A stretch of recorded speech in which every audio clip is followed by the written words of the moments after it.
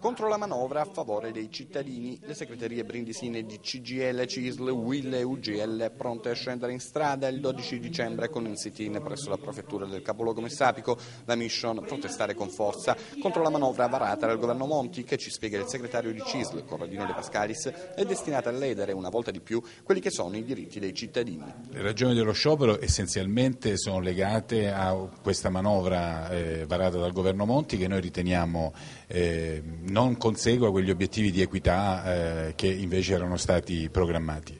La situazione del Paese è molto grave, ciascuno deve fare la sua parte, i lavoratori e i pensionati sono disposti, pronti a fare la loro, però appunto in una quadro complessivo di equità sociale. A margine, tante le iniziative per i prossimi giorni a Brindisi certo, ma anche ovviamente su tutto il territorio nazionale. L'obiettivo è costringere il governo a tornare su una manovra iniqua. L'obiettivo è di portare il governo al tavolo per appunto rinegoziare e ripuntualizzare tutti quelli che sono i provvedimenti che sono necessari al Paese ma che devono essere gestiti, lo ripeto ancora una volta, con equità.